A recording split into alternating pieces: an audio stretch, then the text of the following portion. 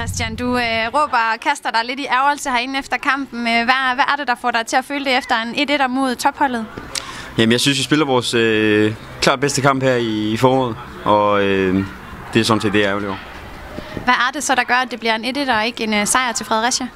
Ja, det er, at de øh, scorer på en dødbold, og øh, det er ikke godt nok, at vi ikke forsvarer den.